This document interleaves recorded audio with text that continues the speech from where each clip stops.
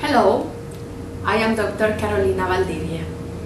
We hear a lot about risk factors for disease in newspapers and television, but in my practice I have found there is a lot of confusion about what being a member of a risk group actually means. Let me be clear from the outset. Being at risk for developing disease does not guarantee that you will get it.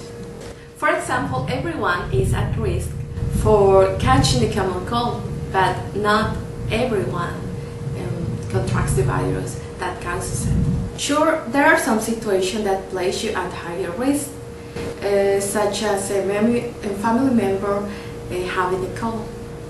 But even that uh, does not guarantee that you will catch it. If you do, is does not guarantee that your specific case will be severe. And there are steps that you can take to minimize your discomfort. So, what does being a member of a risk group really mean? Let's consider glaucoma as an example.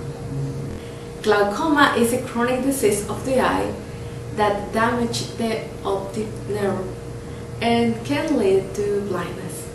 Major risk factors for glaucoma are having one or more family members uh, with glaucoma, being over 40 years of age, having diabetes, being an African American or an Hispanic ethnicity.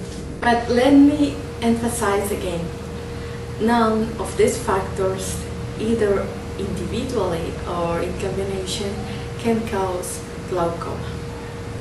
For example, when you read in the newspaper or hear a newscast that African Americans are three or four times more likely to develop glaucoma, this is a statistical measure of risk that applies to the entire African American population.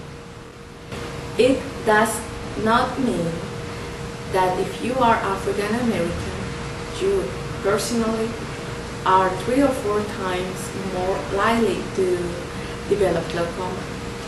I hope that this helped to clear up any confusion about uh, the issue of risk factors for disease. Remember, eyesight is precious.